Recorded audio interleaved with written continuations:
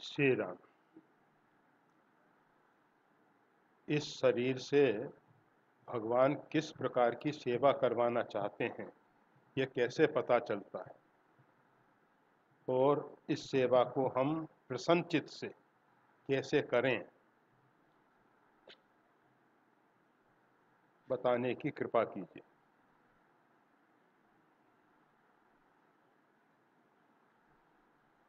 परमात्मा ने अखिल विश्व यह मोर उपाया। सारी सृष्टि परमात्मा ने बनाई है। हर एक व्यक्ति को कुछ ना कुछ विशेष प्रकार की योग्यता दे के भेजा है। सभी व्यक्तियों में भिन्न भिन्न प्रकार की क्षमता है भिन्न भिन्न प्रकार की योग्यता है। अपनी क्षमता और योग्यता पे विचार करना चाहिए कि परमात्मा ने किसी को बुद्धिजीवी बनाया है, किसी को शरीर से रिष्ट पुष्ट बनाया है, किसी के द्वारा कला के क्षेत्र में कार्य किया जा सकता है। देख लेना चाहिए कि हमको किस प्रकार की योग्यता दी गई है, किस प्रकार की हम में क्षमता है। इन दोनों पे विचार करके और फिर परमात्मा से प्रार्थना करनी चाहिए। कि प्रभु, हम आपके एक अबोध शिशु हैं, बालक बुद्धि ज्ञान बलहीना हम ज्ञान, बल, बुद्धि सबसे रहित हैं, सबसे रहित हैं। और एक बात ये सुनिश्चित समझ लेनी चाहिए देखा जाता है। बड़े बड़े ज्ञानी विक्षिप्त हो जाते हैं। वज्र मूर्ख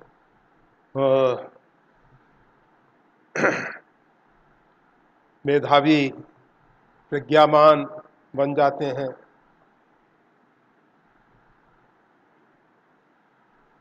ये एक अभी नाम ख्याल नहीं आ रहा। विजयनगर के राजा अपने टेरेस पे घूम रहे।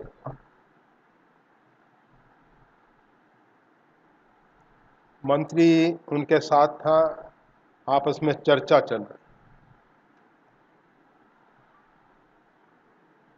परमात्मा जो है, अत्यंत वज्र मूर्ख को भी ज्ञानी बना सकते, ज्ञानी बना सकते। तब तक दृष्टि मार्ग पे गई। मार्ग पे एक व्यक्ति जो है जूता हाथ में लेकर चल किसी को मारने के लिए नहीं, संभाल के ले जा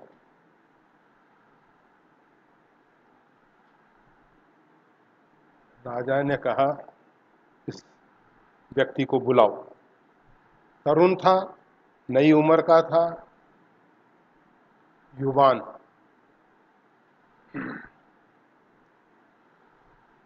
बुलाया। आया। कहा इस जूते में क्या है? का तेल। तेल? इस जूते में क्या करोगे? कहा कि घर से तेल लाने के लिए भेजा गया था। मैं कोई पात्र लेके आया नहीं था। कहा, इस तेल का क्या करने का कहा कि कुछ भजिए पकौड़ी बनाए। मतलब खाने में काम। कहा, फिर तुमने क्या किया? कहा कि, मैंने कहा कि मेरे पास जूता तो है ही, जूते में ले लो? राजा ने मंत्री की तरफ़ देखा। कहा कि ये व्यक्ति क्या बुद्धिमान हो सकता है? समझदार हो सकता है? का जी। कहा जाता है, नरसिंह मंत्र उनको दिलवाया गया।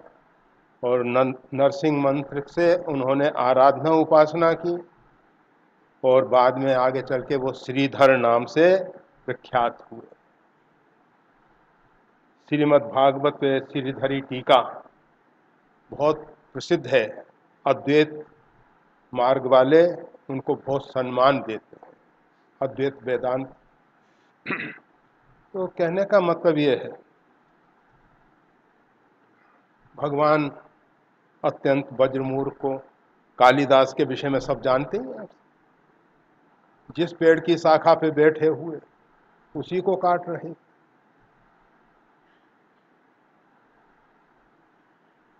वैसे तो हम सब भी, जो अपने आप को प्रबुद्ध मानने वाले लोग हैं, बहुत बुद्धिमान मानने वाले लोग हैं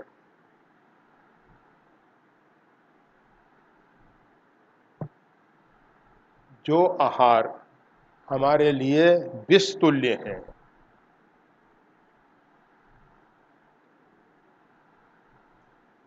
उनको हम जानते हुए भी कि ये विष है, फिर भी नहीं छोड़ रहे हैं, ग्रहण करते चले जा रहे हैं। तो भगवान जो है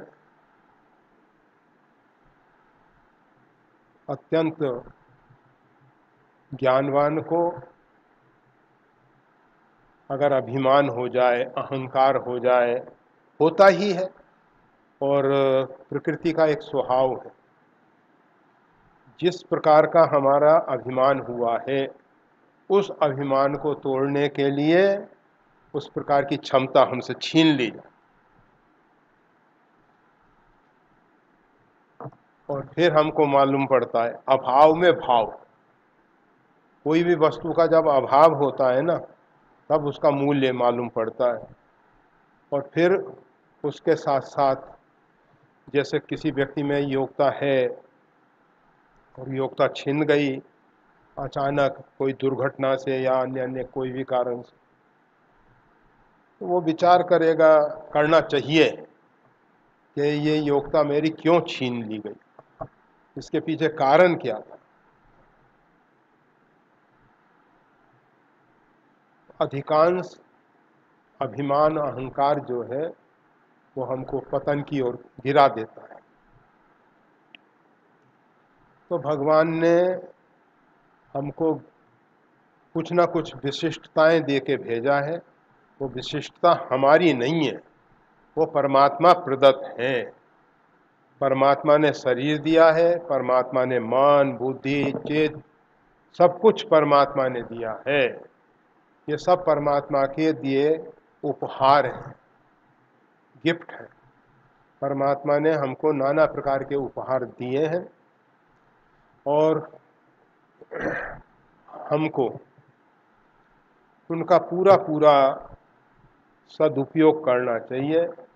और परमात्मा की सेवा में ही उसका उपयोग करना सदुपयोग का मतलब ही यह होता है, परमात्मा की सेवा में उसका उपयोग ही सदुपयोग है। व्यक्ति के विषय में हम नहीं जानते, व्यक्ति कब, क्या, कैसे करेगा।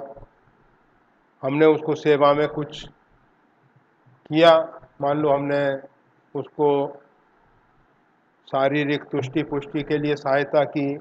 हमने उसको विद्यादान में कुछ सहयोग किया या अन्य अन्य प्रकार से।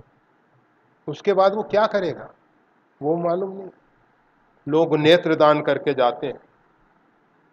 क्योंकि नेत्र कुछ समय तक शरीर का प्रारब्ध पूरा होने के बाद कुछ काल तक अगर निकाल लिया जाए, शीघ्र ही, ऐसा नहीं कि लंबा से बाद तो काम में आ जाता है। तो इस प्रकार से बहुत से शरीर के अंग डोनेट किए जाते हैं, दान दिए जाते हैं। परंतु कहाँ पहुँचेंगे, उसका क्या होगा, हमें नहीं मालूम। इसलिए हमेशा जो भी सेवा कार्य करना है, वो परमात्मा के लिए करना है। हम नहीं जानते हैं कि इसीलिए कहा गया है, तुम ही बिन सत्कर्मा। भगवान को बिना अर्पित किए सत्कर्म जो हैं, नष्ट हो जाते हैं, नष्ट हो जाते हैं। सत्कर्मों को भगवान को समर्पित करना चाहिए। सत्कर्म भगवान के लिए ही करने। परमात्मा विराट है। परमात्मा विभू है, परमात्मा व्यापक है। वो सब जगह परिपूर्ण है। जहाँ जिस प्रकार की उसको सेवा की ज़रूरत हो, वहाँ सेवा कर सकते देख लेना चाहिए कि किस रूप में परमात्मा को किस प्रकार की सेवा करनी की आवश्यकता है? बहुतों के पास धन बहुत है। परंतु बुद्धि नहीं है।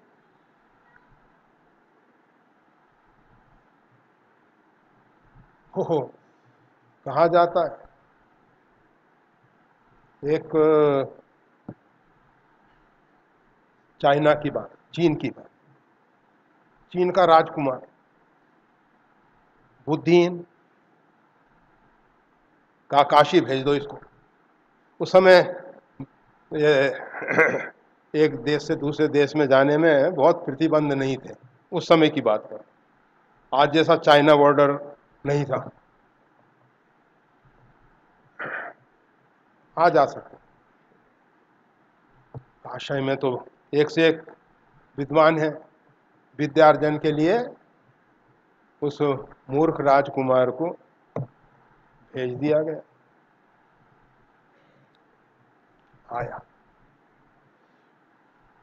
काफ़ी लंबे समय तक अनेक प्रकार की विद्याएँ पढ़ी उसने अनेक प्रकार की विद्याएँ।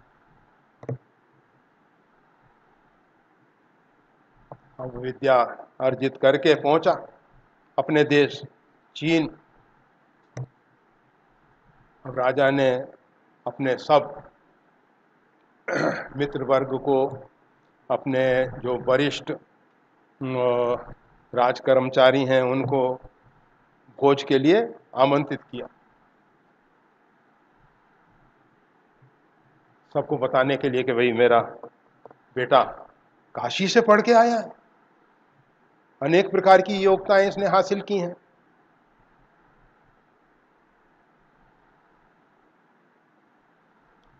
अब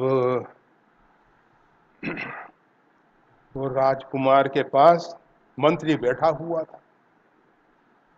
वहाँ का चीन का मंत्री। उसने पूछा, कुछ ऐसी बात बताओ।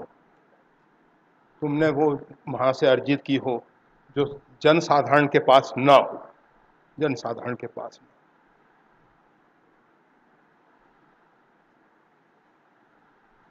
उसने कहा, राजकुमार ने कहा, तुम हाथ में कुछ रखो, मैं बता दूँगा तुम्हारे हाथ में क्या है.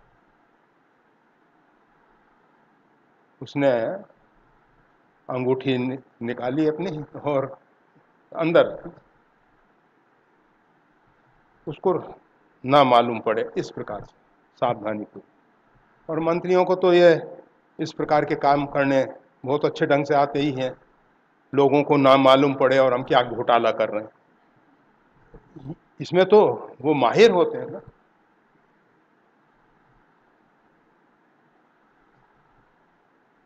राजकुमार से पूछा, बताओ, मेरी मुट्ठी में क्या है? अब उसने जो विद्या पढ़ी थी, उससे उसको मालूम पड़ा एक वर्तुला का। बीच में उसमें छेद है।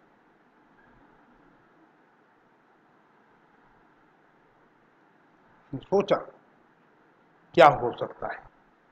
अब बुद्धि थी नहीं, विद्या से इतना मालूम पड़ गया। उसने कहा, गाड़ी का पहिया है।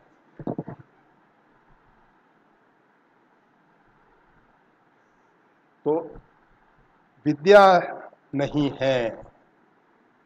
तो वो सही अर्थों में मानव ही नहीं है। धी विद्या सत्यम अक्रोध, ये मानव के लक्षण हैं।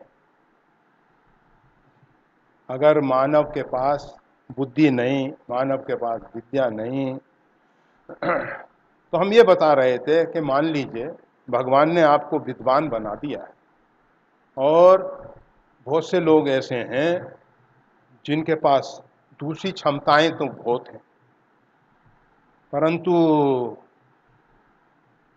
बुद्धि नहीं है, विद्या नहीं है तो कोशिश करके उनको विद्या और बुद्धि देनी चाहिए। भगवान ने कृपा की है कि चार व्यक्ति आपकी बात सुनने को तैयार हैं। उसमें से कुछ अपने जीवन में चरितार्थ करने को तैयार हैं। तो जीवन का जो सही उद्देश्य है कि जीव किस प्रकार से परम सुख, परम शांति पा सकता है? उस दिशा में प्रेरित करना चाहिए, प्रेरणा देना जैसी योग्यता भगवान ने दी है, भगवान खाली किसी को नहीं भेजते हैं। एक व्यक्ति को देखा, हाथ, पैर इत्यादि से अपंग, विकलांग तो हम नहीं बोल सकते। अब तो दिव्यांग बोलना पड़ेगा। परंतु वो दिव्यांग का अर्थ दूसरा हो जाता है, सीधा सा। तो इसलिए वो भी नहीं बोल सकते। अपंग।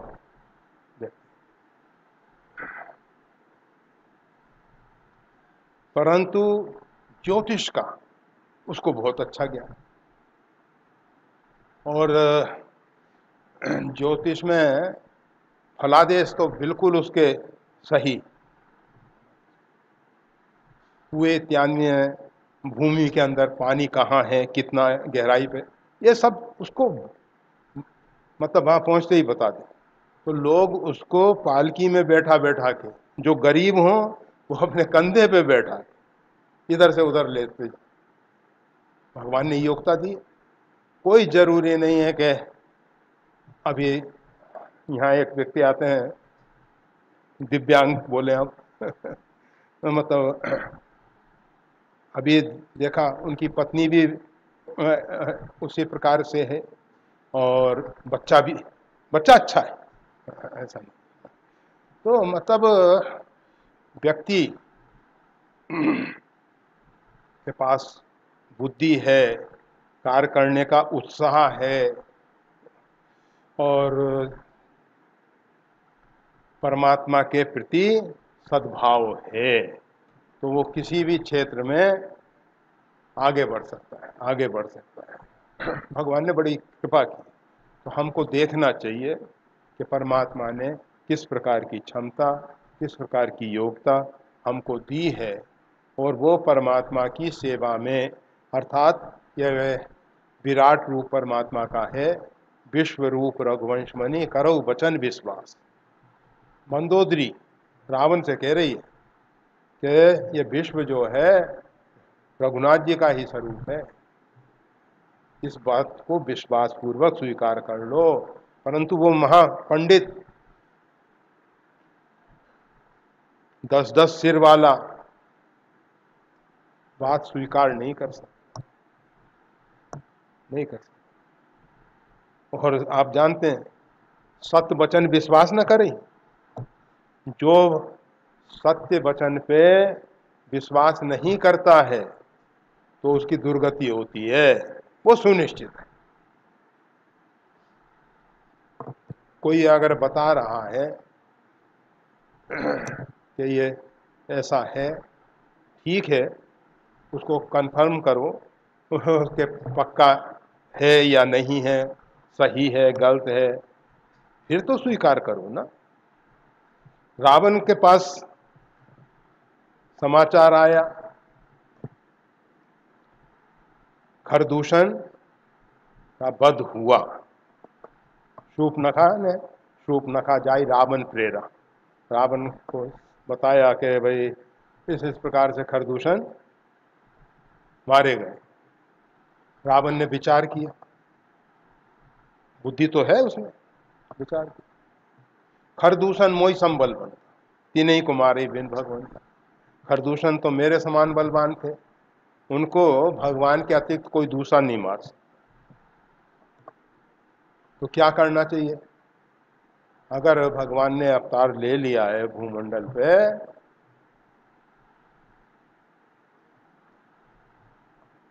तो भजन करना चाहिए। अर्थात उनकी सेवा में अपने आप को समर्पित कर देना चाहिए। वो ये भजन ना तामस दे। फिर उसके दूसरा विचार आया। कि नहीं भाई, हम तो तमोगुण प्रधान हैं और तमोगुणी व्यक्ति सेवा नहीं कर सकते, भजन नहीं कर सकते। ये ईर्षालु तमोगुनी भजन नहीं कर सकते। भजंती हीन मत्सरा मात्सर्य को छोड़ के भजन करो। हीन मत्सर वो भजन करते हैं।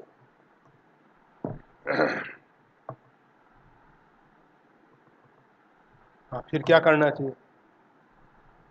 बेर करके उनके द्वारा युद्ध में पराजित होकर आमने सामने लड़ाई लड़ते हुए मरूँगा। सदगति तो होगी।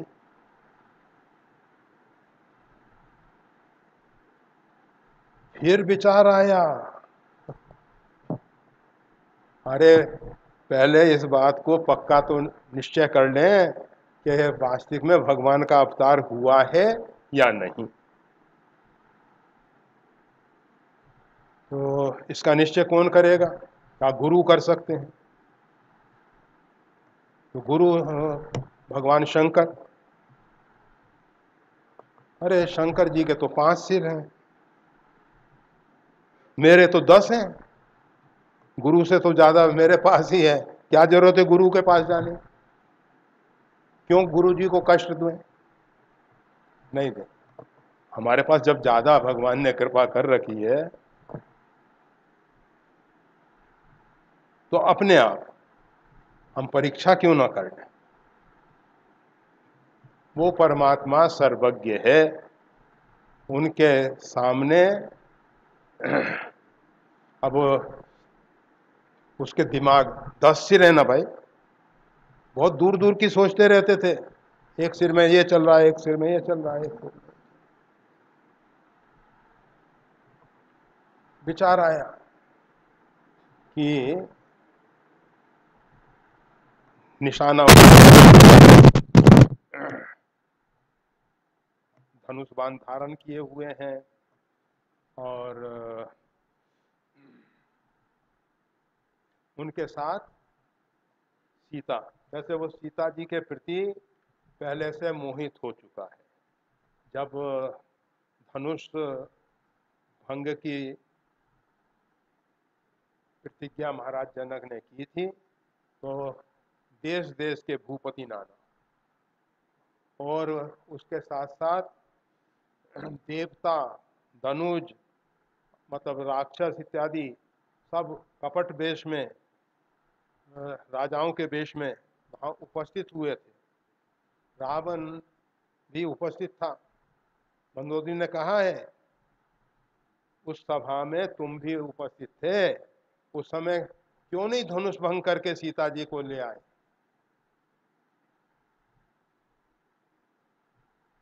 रावण ने मंदोदरी को तो समझा दिया। अरे भाई, हमारे भोले बाबा, हमारे गुरु जी का धनुष अगर हम उसको भंग करते तो हम गुरुद्रोही कहलाते, गुरु की संपत्ति को नष्ट कर दें।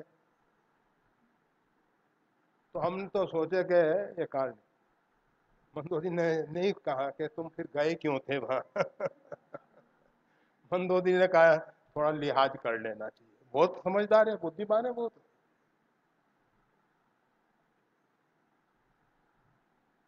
रावण ने सोचा कपट मृग बने मारीच मामा। वैसे, ऐसे सीधा संबंध मामा का नहीं है उसका।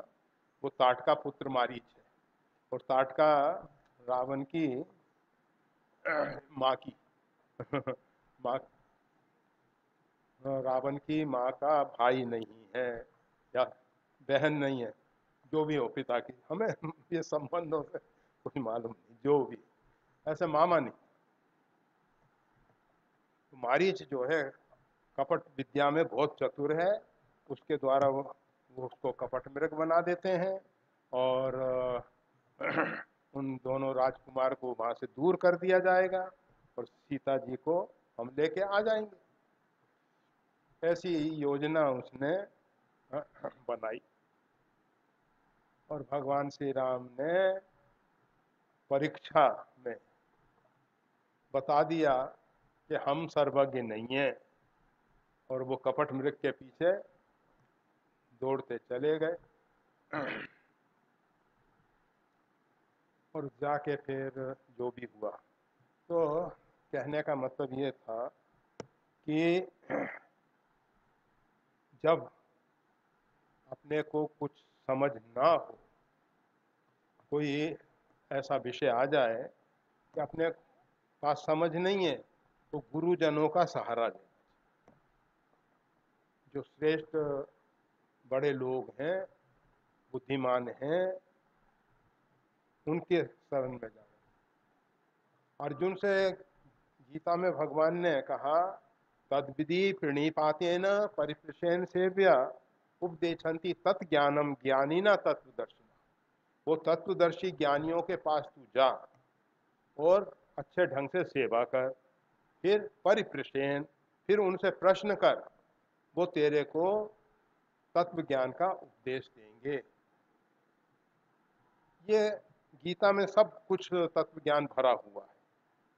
लोगों ने तो तत्व विवेचनी गीता बना दी है। गीता फिर से प्रकाशित है। गीता अपने आप में एक संपूर्ण उपनिषदों का सार लिया हुआ ग्रंथ है, पूर्ण ग्रंथ है वो। तो कहने का मतलब अपने पास नहीं है बुद्धि तो गुरुजनों का आश्रय लेना चाहिए और उनके द्वारा फिर जो उपदेश मिले उसके अनुसार आगे बढ़ना चाहिए।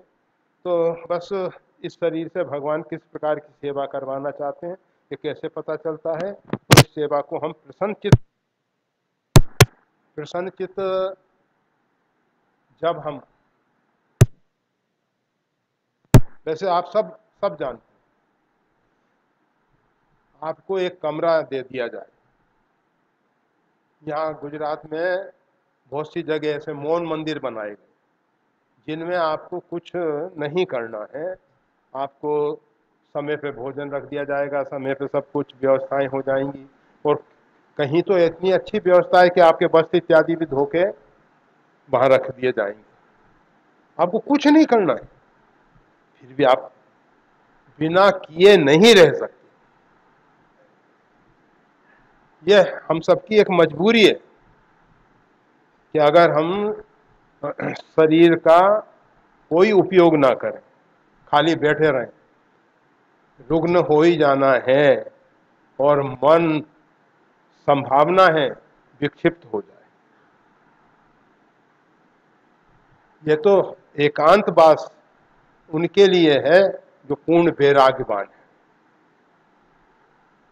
सबके लिए एकांतवास अच्छा नहीं।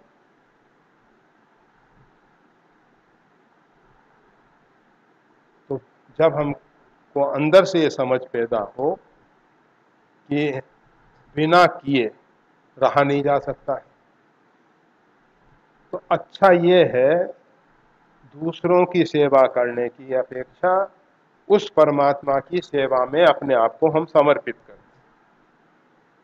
कोई भी व्यक्ति किसी की सेवा रखता नहीं है, कुछ ना कुछ जो उसके पास है, वो देने की चेष्टा करता है कि भाई, इसने इतनी सेवा की है, इसको कुछ ना कुछ देना चाहिए। और परमात्मा जिसके पास सब कुछ है और सबसे बड़ी विशेषता उदारता है। ऐसो को उदार जगमाही बिन सेवा जो दिलवई दीन पर, राम सर इसको बिन सेवा जो द्रवई दीन बिना सेवा के परमात्मा दिव्यभूत हो जाते और जिसने सेवा की है, उसके लिए तो भगवान को लगता है कि क्या दें अधिक से अधिक दें। जब बिना सेवा वालों को दे रहे हैं वो तो सेवा वाले को तो ज़्यादा ही देंगे ना। उसको कम दें, ऐसा तो वो परमात्मा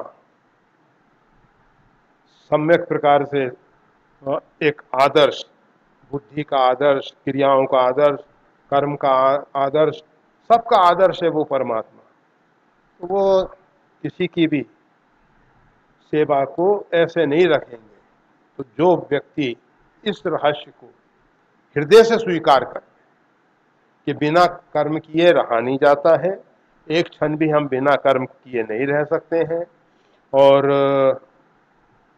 परमात्मा ने हमको समय दिया है, जीवन दिया है, कर्म करने के लिए तो अच्छा है कि हम अपने कर्म परमात्मा की सेवा के लिए करें।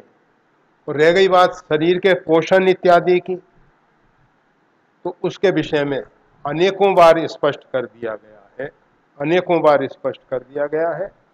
पहले प्रकृति ने वनस्पति इत्यादि बनाई, फिर उनको खाने वाले बनाए। और जब वो खाने वालों की संख्या ज़्यादा बढ़ने लगी तो उनको खाने वाला दूसरा बना दिया।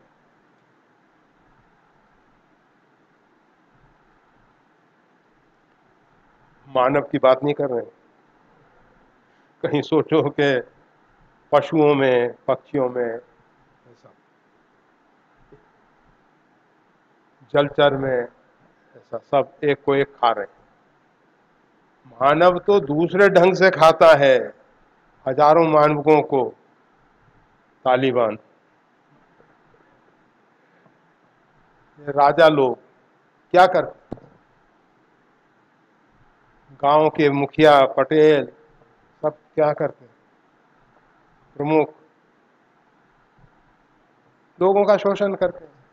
जैसे वनराज एक व्यक्ति का नाम वनराज है, वो हो नहीं। ये जंगल का राजा शेर। तो मानव को तो भगवान ने विवेक और बुद्धि दी और कहा, तुम स्वयं विद्या अर्जित करो और विद्या अर्जित करके अपने में योग्यता पैदा करो और योग्यता पैदा करने के बाद फिर परमात्मा की शरणागति स्वीकार करके फिर परमात्मा की सेवा करो। फिर परमात्मा की जब तक हम में योग्यता नहीं होगी, योग बन के सेवा की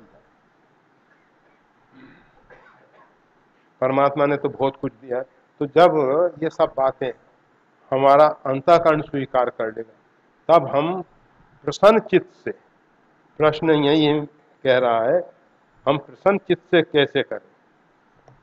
तो चित्त तभी प्रसन्न होगा। जब हमारी मन चाही हो रही है, मन के विपरीत होता है ना, चित्त प्रसन्न नहीं होता। चित्त प्रसन्न होता है, मन चाहिए। और मन चाहिए सही है या गलत है, इसके लिए पहले योग था और फिर परमात्मा की शरणागति। जब परमात्मा की शरणागति होगी तो परमात्मा करऊँ सदा तिनकी रखवारी, जिम बालक राखी महतारी। जैसे अबोध शिशु को अग्नि को पकड़ने के लिए जा रहा है। हमने देखा अपने जीवन में देखा एक छोटा बच्चा